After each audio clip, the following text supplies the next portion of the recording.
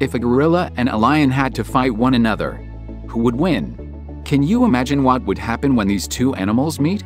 I will try to find an answer to this very interesting and popular question in this video. So please like and subscribe so you can suggest the next video by commenting your favorite animals. In weight, the male lion and silverback gorilla would be about the same. Male lions are between 150 and 250 kilograms, male gorillas between 160 and 250 kilograms, so neither of them has a real weight advantage. They also have a similar body length. The main advantage for the gorilla is its arm length and its bite. However, his arms are blunt weapons and as his jaws are short, his bite is reasonably small but can do a lot of damage.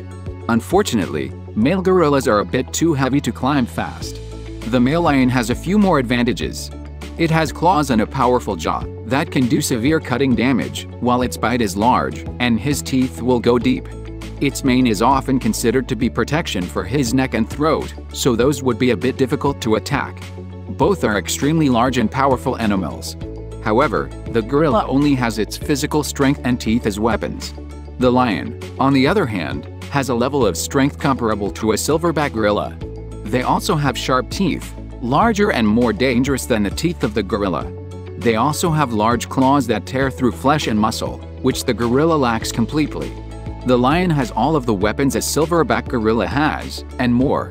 With its razor-sharp claws, aggression, quickness, and predatory nature it would be able to take down the gorilla without much effort. A single lion can take down a wildebeest or zebra with ease, and both of these animals are of similar size and often larger than a silverback. If a lion is moved by hunger, males have even known to take down buffalo bulls. When you consider what animal would win against another, you have to factor in whether or not they would actually ever meet in the wild. If they never would, that will affect the outcome. Because both of them are going to be thrown off a bit by meeting this new strange creature. Lions follow their instincts, if they wanted to kill, they would go straight for the neck. Gorillas have no answer to a lion's bite or even their paw swipes. A couple of swipes is enough to critically injure a gorilla. Whereas, lions are known to survive attacks from water buffaloes, which are much more damaging than any attack that a gorilla can dish out. Any gorilla that is into big silverback is going to be prey. Very few gorillas can stand up to lions and leopards. Those that do hunt gorillas will avoid a silverback if possible.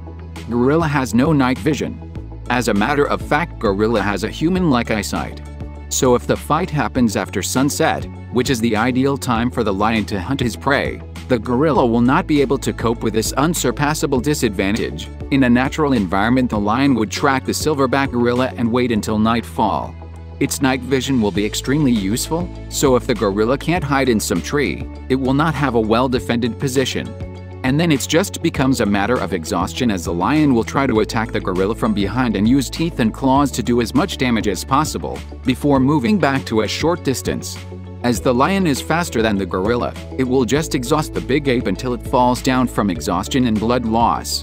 And the darkness will get the gorilla extremely scared and active, while the big cat just looks and waits for a next chance. With a bit of luck, the gorilla can deliver a bite or punch back which would force the lion to move to a greater distance or even to retreat. But that requires some luck. It has been proven though that leopards, the smaller cousins of lions, have eaten gorilla meat as traces of gorilla DNA have been found in leopard excrements. So chances are that leopards actually hunt gorillas. Experiments have also proven that gorillas generally fear leopards and that silverback males will attack them if they get too close to their family. So if a leopard is able to eat gorillas, then lions should be able to do the same. They just don't because they don't share the same territories. Still, if it ever gets to such a moment, in a natural environment, I think the lion will be most likely the winner if he's persistent enough.